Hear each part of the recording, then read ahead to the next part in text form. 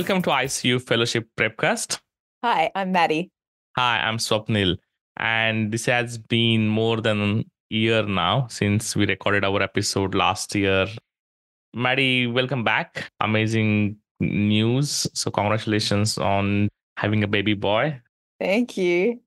How's things on your side and how's this transition going? Uh, it's good. So, had a kid, Kayan. He's very cute. He's almost nine months old now. And I've been back at work for about a month, which is like a big change, but I think a good change. I feel like my brain is working again slowly. But he's at a very good age and um, he's a he's a cutie. But now just trying to manage the sort of transition with coming back to work and having more responsibilities at home hats off to you and all the female ICU doctors who manage their career and family. It, it, I can't even imagine myself doing that. It, it's just such a hard task to manage two things and, and still function at a very highest level. So well done and welcome back to the podcasting journey again. Oh, thanks. Good to be back. And also, good job, everyone who sat the written, what, last week or just over a week ago. And yeah, hope it went well for you yeah, the results will be out soon, is marking period has just began. So so this year with Fellowship Prepcast, I guess has been a lot of positive feedback about the podcast. Although there was a big break last year, I think a lot of people did benefit from listening to the Fellowship Prepcast. And there was more like there was a request for more episodes with the similar theme. Only thing that we're going to change now, given that our previous episodes were 30 minutes long, I think some of the candidates felt that it might be beneficial that we switch to similar format of primary prepcast which is small snippets uh, where we discuss one viva or one case management and that way it's much easy to consume that episode. So we are switching to the snippet format. So the first snippet for today is a 59 year old male who presents to an outer metropolitan hospital which is supported by a non tertiary ICU with a severe respiratory failure. He gives a history of a weak cough, myalgia, fever, and increasing shortness of breath. So, what is your differential diagnosis in this patient? So, there are multiple potential causes for his presentation. Most likely, I think top of my differential would be an infectious etiology, whether bacterial, viral, fungal, or parasitic but his presentation could also be secondary to non infectious causes. So, in terms of infectious causes, bacterial causes could be a community acquired pneumonia, such as strep pneumonia, or an atypical pneumonia, such as mycoplasma or Legionella. Could be infective endocarditis or a sepsis from another source with multi organ involvement, such as a septic joint or meningitis. Viral causes include things like, well, COVID or CMV. Fungal causes, especially the immunosuppressed person, could be a candidemia or aspergillosis. Or parasitic causes such as malaria, possible if there's been a recent um, significant travel history. Non infectious causes, I think, so have to be part of your differential, but generally we didn't exclude infectious causes first. Cardiovascular non-infectious causes be something like cardiac failure or a PE, inflammatory causes such as a vasculitis or uh, aspiration pneumonitis, autoimmune causes such as SLE, neoplastic causes such as lymphangitis carcinomatosis, or other potential causes like a drug toxicity, um, COPD, or neuromuscular causes such as neurogenic pulmonary edema are potentials, but I think would be less likely. Thanks, Maddie. So that's a quite comprehensive list of differential diagnoses. Now, fellowship why was the same is there for a reason. So, what are the other aspects of the history that would be important for you to help or confirm a specific infective etiology for his presentation? Yeah, so specific things about the presenting complaint that would help confirm an infective etiology would be other localizing symptoms other than the respiratory features such as the cough and shortness of breath that we get in the stem. So things like if there were soft tissue symptoms like increased erythema in an area or painful joints, any neurological symptoms which might make you think of things like a meningitis or other localizing pathology that might confirm a sepsis with a respiratory involvement. Um, and then further information about things like if the cough was productive, might, might make you more concerned about a, a pneumonia or a upper respiratory tract infection.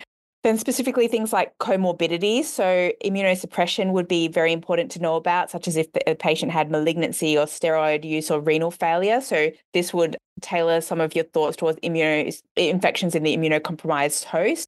Things like lung disease, such as asthma or COPD, which increases the risk of pneumonia. Splenectomy would increase the risk of encapsulated organisms, and any presence of lines, such as ports or devices, which would increase the infection risk because of a foreign body in situ. Smoking, we know, has an increased risk of pneumonia, especially things like Legionella, pneumococcal, and staph, and same with heavy alcohol use. And intravenous drug use, so which would increase the risk of blood-borne infections such as endocarditis or Staph aureus. And then thinking specifically about particular exposures, so unwell contacts um, may help identify the organism or route of transmission, such as if the other contacts had a respiratory illness or a gastrointestinal illness, travel immunization history may help to identify sort of endemic organisms and travel related diseases. Things, other exposures like exposures to birds would increase your risk of chlamydia, psittacosis or gardenings, which would increase your risk of Legionella longbeachae, eh? unprotected sex, so risk of HIV or seroconversion illness or immunocompromise, and recent antibiotic use increases the risk of like multi-resistant organisms.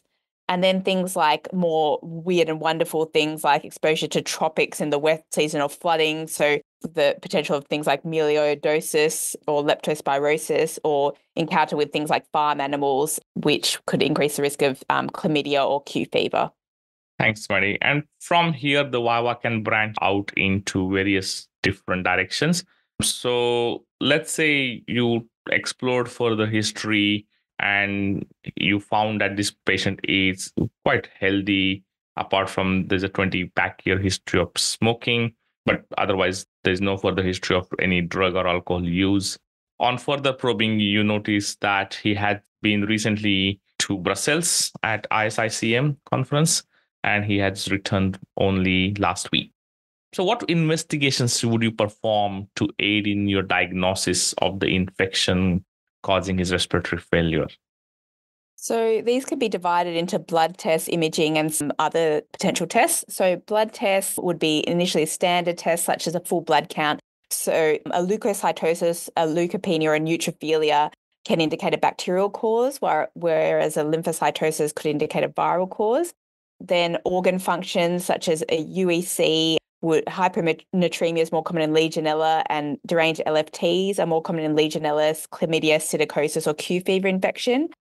Trying to find the specific organism with atypical serology. So this looks at Mycoplasma, Legionella, and chlamydia, and blood cultures, which could grow a bacteria to help identify the organism.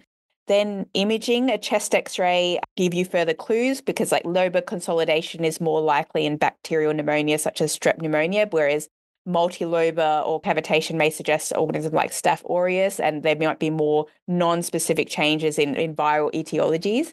A CT chest can also give you further information. There are particular signs you might see, such as halo signs in aspergillosis. And it can give you a further information compared to a chest x-ray. And then certain other tests, so a sputum MCS, if there is a productive cough, can help identify an organism urinary antigens standard in the workups we do for uh, for pneumonias. Um, so this looks at strep pneumonia and Legionella pneumophila, and a respiratory viral nasopharyngeal swab, which which checks a lot of the viruses. There's a whole list which will be in the show notes, and it also tests for mycoplasma pneumonia in some of these swabs, despite saying it's a viral swab. Yeah, so if you're preparing for fellowship, I think return overseas travel itself is a big theme. And again, examiners might pick one specific infection from all the causes that Maddie listed. And then I guess the VIVA can further branch into the management of that particular organism. Now, another reminder what Maddie did there was about the when you're stating any investigation, you need to state what you're looking for when you're ordering that particular investigation. So rather than just verbalizing the list of investigations, be more specific about when you order this particular investigation, what you're looking for. So let's say you send all these investigations and the Legionella urinary antigen comes back positive. Can you please outline the transmission of the Legionella and also what are the other methods available to diagnose Legionella pneumonia? So I thought it'd be worthwhile just briefly talk about the microbiology. So Legionella aerobic gram-negative intracellular bacilli, and there are more than 50 species, but the two most common that are pathogenic in humans is Legionella pneumophilia, which is mostly serogroup 1, and Legionella longbeachae. So the Legionella pneumophilia thrive in warm water and they grow readily in closed man-made water systems. So this includes plumbing fixtures or air conditioner units.